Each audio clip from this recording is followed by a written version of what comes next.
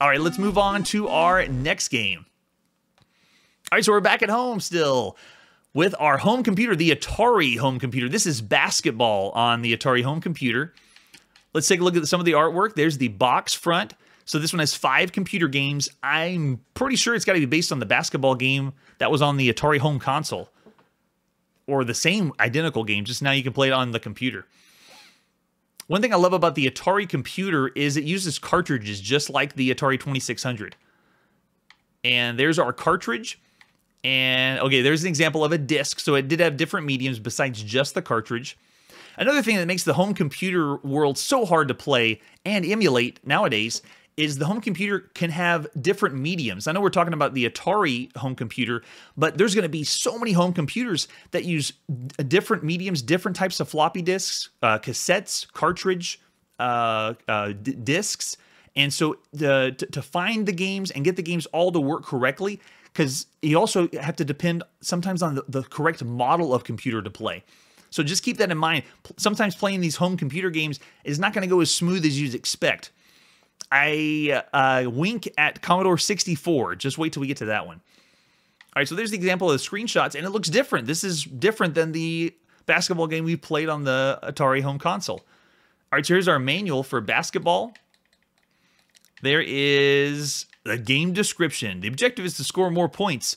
Yeah, that's every basketball game.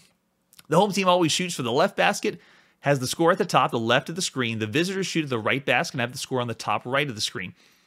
See the game descriptions for game by game breakdown. When a basket's made, the scoring basket resets the center court. Okay, so it might be similar to the arcade version we played, at least the way it explains it there. And then here we go. The uh, joystick is uh, which uh, uh, uh, how to control the joystick. Oh, it's a one, two, or three, four player game. I don't think we played a four player game on a home computer before. I wonder if there's four cartridges sl slots or uh, ports for the controllers. Four controllers on a home computer, that's awesome. So it shows you the different uh, game and how many players. So since we have one player, we'll play, be playing game one. And then there you go. It shows you which jack. It does have four uh, controller jacks on the Atari home computer.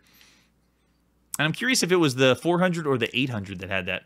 So there's the cartridges, and then it shows you how to use the controller, and then how to play offense and defense, and then uh, the descriptions of the different games you can play. Five different games using that awesome Atari artwork. All right, let's see what versions we have. We are ready. It's December 1979, playing basketball on the Atari 8-bit home computer. There we go. We're ready to play. All right, so to start the game off, let's see what happens when we start with game one. Oh man, yeah, I got a crazy hard computer against me. So I'm on the right side, and I'm going for a basket here. Go get in there.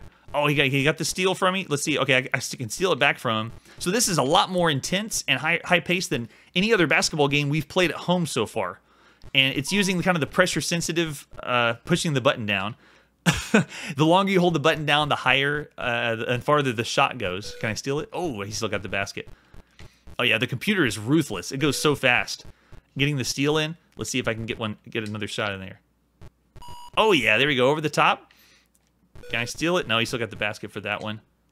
And yeah, the, the playing with lifelike players at home compared to the other home basketball games we played, this one plays uh, the best of anything we played so far. Very easy to control. It's the Atari joystick. So one joystick, one button, and then that button, the longer you hold it down, is the farther the basketball will go. Oh, he got the steal from me. So I am playing against the computer. There is different game modes. If you have other controllers, you can play with other people. Can I steal? Yeah, there we go. So the steal is really easy. All you do is just run in front of them, and if you get the the timing right, then you steal the ball.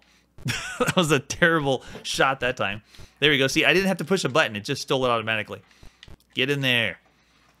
Good. Okay, so we got that one. So that was excellent for a home basketball game. Even though it was on the computer, not many people had the Atari home computer. We're going to give that one um, above average for the time. I'm going to say even excellent. Uh, let's go with, for what you could play at home, I'd say four and a half stars for a uh, basketball on the Atari home computer.